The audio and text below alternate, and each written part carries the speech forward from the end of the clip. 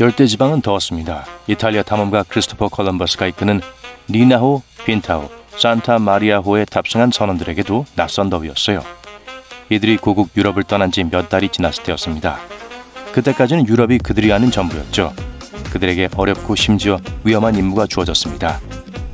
스페인은 콜럼버스를 고용해 아시아로 향하는 신서양 항로를 찾도록 했어요. 무역과 향신료 구매를 위해 새로운 항로가 필요했기 때문이죠. 하지만 이는 단순한 일이 아니었습니다. 바다를 건넌 것은 결코 쉬운 일이 아니에요. 선원들은 자신들의 삶이 영원히 바뀔 줄은 꿈에도 몰랐을 겁니다. 육지가 보인다! 라고 누군가 선상에서 외쳤겠죠? 하지만 마침내 그들이 새로운 이국 땅을 밟았을 때 그들은 그곳이 아시아가 아니라는 사실을 알게 됐어요. 그들은 아메리카 대륙에 상륙한 거였습니다. 이 이야기는 한 번쯤 들어보셨을 거예요. 역사적으로 볼 때 콜럼버스는 1492년에 아메리카 대륙에 도착했어요. 하지만 콜럼버스의 배가 대서양에서 치명적인 폭풍을 만나 신대륙에 도착하지 못했다면 어떻게 됐을까요? 오늘날의 역사는 어떤 모습이 됐을까요? 먼저 짚고 넘어갈 게 있어요. 누구도 아무것도 발견하지 못했어요. 아메리카 대륙이 발견됐다고 말하는 것은 이미 이곳에 살고 있던 수백만 명의 사람들을 무시하는 거예요. 아메리카 대륙은 유럽의 관점에서만 발견됐습니다. 콜럼버스가 아메리카 대륙에 도착했을 때 몇 에이커의 빈 땅을 마주했을 때만 무언가를 발견했을 거예요. 하지만 결코 그게 다가 아니었죠. 둘째, 콜럼버스는 아메리카 대륙에 상륙한 최초의 탐험가가 아닙니다. 믿기 어렵겠지만 바이킹은 10세기에 이미 미국 해안에 접근했어요. 바이킹의 탐험은 학자들에 의해 잘 문서화되어 인정받고 있습니다. 당시의 상황을 소개할게요. 서기 천년 무렵 바이킹 탐험가 레이프 에릭슨은 빈란드라는 곳으로 항해했습니다. 귀여운 이름이죠. 지금은 캐나다의 뉴펀들랜드라는 지역이 됐지만요. 하지만 그의 선원들은 오래 머물지 않았어요. 도착한 바이킹들은 뒤집어진 카누 아래에서 낮잠을 자고 있는 아메리카 원주민 10명을 발견했습니다. 바이킹은 교류를 시도했지만 아메리카 원주민은 바이킹에게 그다지 우호적이지 않았고 그들을 별로 좋아하지 않았던 것으로 추측돼요. 바이킹의 기록에 따르면 원주민들을 대하기에 수적 열세와 위협을 느꼈고 그래서 자기네 땅으로 돌아갔다고 합니다. 말이 되죠? 앞서 말했듯이 아메리카 대륙에는 수백만 명의 사람들이 살고 있었습니다. 어떤 외국인이라도 그곳에서 수적으로 열세였을 거예요. 이제 크리스가 도착하기 전 북미의 모습을 살펴보세요. 우리가 익히 알고 있는 일반적인 주들로 나눠져 있지 않았어요. 콜럼버스가 도착하지 않았다면 미국은 애초에 통합되지 못했을 거예요. 결국 이 땅에는 수백 명의 아메리카 원주민이 살고 있었고 그들은 그들 부족들 사이에서 살았습니다. 유럽인들과는 완전히 달랐죠. 유럽인이 도착하기 전에 아메리카 대륙에 정치 시스템이 없었다고 생각하는 건 정확하지 않아요. 다만 오늘날 우리가 익숙한 것과는 달랐다는 점을 이해해야 합니다. 유럽인들이 도착했을 때 그들은 그들의 신념 체계를 가져왔어요. 종교적 신념과 언어 체계부터 옷 입는 습관 같은 단순한 것까지 말이죠. 아메리카 대륙이 독자적으로 발전했다면 오늘날의 패션 감각은 완전히 달라졌을지도 몰라요. 유럽인들은 서구에 도착했을 때 이미 패션 감각이 발달해 있었습니다. 그들은 이런 여러 옷들을 입었죠. 하지만 열대 지방에선 이런 옷들이 실제로 효과가 별로 없잖아요. 그들에게 패션은 어떤 경제적인 지위를 보여주는 것과 관련이 있었습니다. 아메리카 대륙에는 그런 것이 존재하지 않았죠. 아메리카 원주민의 의복은 주로 날씨와 관련된 기능적인 옷이었습니다. 따뜻한 기후에서 원주민들은 은밀한 부위를 가리기 위해 짧은 옷을 입었어요. 원주민들은 맨몸으로 걷고 모카신이라는 신발을 신었습니다. 네, 여러분이 갖고 있는 모카신과 비슷해요.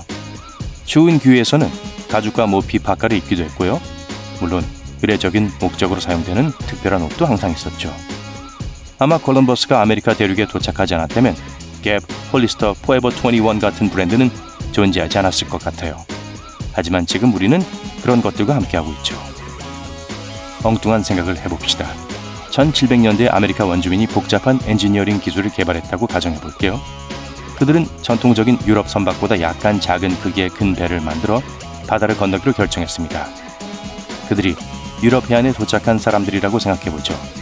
스페인과 포르투갈 같은 곳에요. 물론 그들은 무역을 위해 선물과 상품을 가지고 다녔습니다.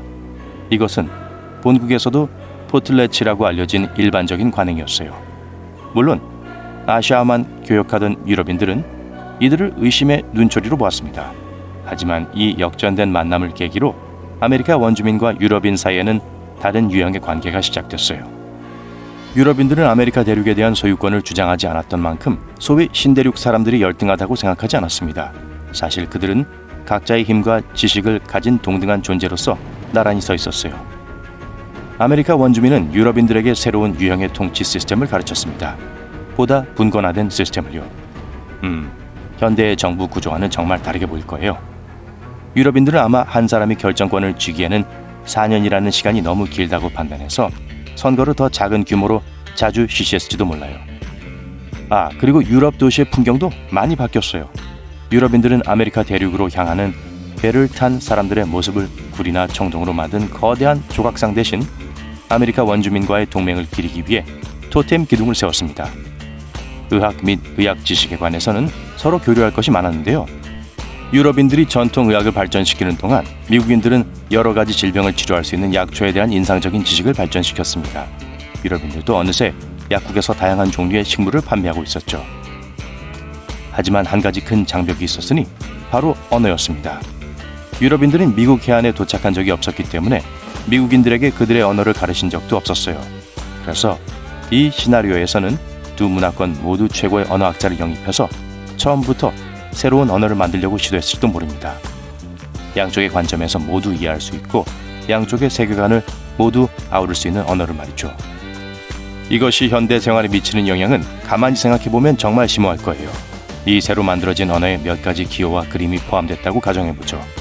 아메리카 원주민은 픽토그램이라는 기호를 사용해서 이야기를 하는 경우가 많습니다. 때로는 문자 그대로의 이야기를 하기도 했고요. 보시다시피 산은 산으로 표현됐어요. 이 의사소통 시스템이 실제로 수메르인들에 의해 발명된 이래 놀랍게도 5천년 동안 사용되어 왔다니 정말 믿기지 않을 정도로 오래됐죠. 노트북 키보드에도 이러한 기호가 탑재되어 지금 쓰는 이메일보다 시각적으로 더 재미있고 하이브리드적인 이메일을 작성할 수 있었을지도 모릅니다. 미국의 풍경도 달라졌을 거예요. 콜럼버스나 그를 뒤따랐던 다른 유럽인들이 신대륙에 도착하지 않았다면 중남미 도시들은 지금과는 완전히 다른 모습을 하고 있었을 겁니다. 잉카, 마야, 아즈텍과 같은 당시의 번화한 제국들은 엄청나게 성장했을지도 몰라요. 사실 유럽인들이 도착했을 때 이미 꽤 큰 규모였죠. 콜럼버스 이전의 일부 마야 도시는 인구 기준으로 중세 런던이나 파리만큼 컸습니다. 세상에 마야 제국은 중앙 아메리카 전역에 퍼질 수 있을 정도로 크게 성장했을 거예요. 그들은 이집트의 기자 피라미드보다 더 큰 피라미드를 만들 수 있을 정도로 피라미드 건축 기술을 발전시켰을 겁니다. 그래서 전 세계에서 관광객이 찾아왔을 거예요. 아, 그리고 남미에서는 이 지역이 아마존보다 더 큰 거대한 숲으로 변했을 수도 있다고 가정해 볼까요? 잉카 문명이 안데스 산맥을 거쳐 본토로 퍼져나갈 수도 있죠. 브라질이나 아르헨티나와 같은 곳은 존재하지 않았을 거예요. 하지만 그 자리에 꿈 같은 열대 정착지가 생겨났을 거고 지속 가능한 생활에 대한 세계적인 기준이 됐을 거예요.